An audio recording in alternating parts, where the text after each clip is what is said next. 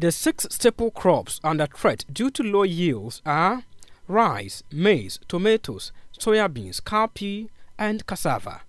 At a high-level emergency consultative meeting organized by the West Africa Center for Crop Improvement under the University of Ghana, principal research scientist at the Council for Scientific and Industrial Research, Crops Research Institute, Dr. Maxwell Asante said Ghana is producing only 50% of local rice despite the huge potential to be self-sufficient. We have the potential to be self-sufficient in rice production.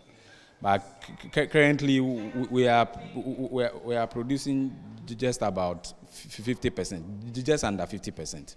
And we have the potential, we have the land, we have the variety, we have the personnel, everything to, to, to, to be able to do it. So the advocacy is that we have to put in the needed investment um, to be able to do it. So when I say the needed investment, what I mean is that it starts from the variety, eh, the development of the variety.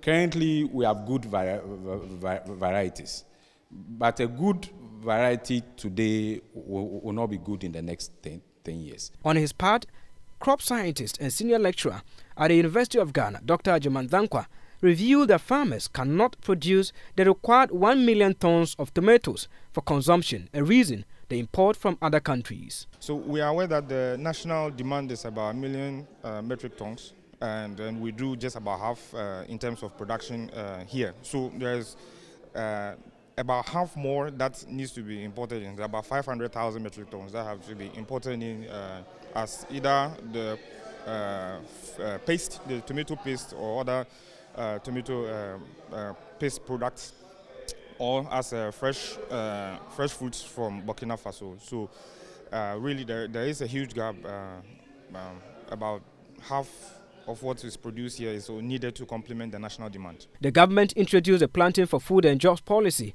in 2017 to help farmers boost food production.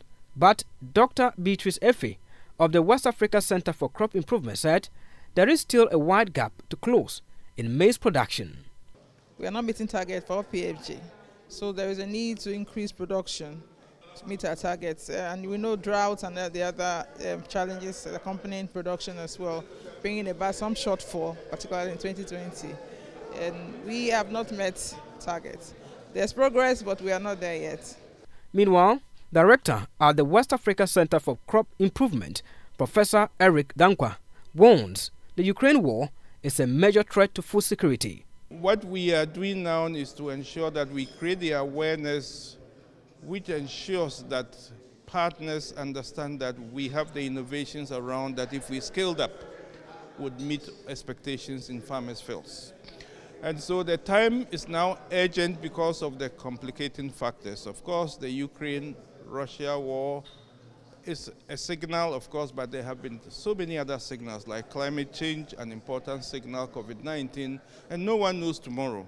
That is why we are moving forward in the context of Ghana looking within to meet expectations. The West Africa Center for Crop Improvement is expected to produce a report detailing the way forward in improving food security in Ghana through investment in genetic innovation and use of hybrid crop varieties. Samuel Mbura's report for Joy News, Accra.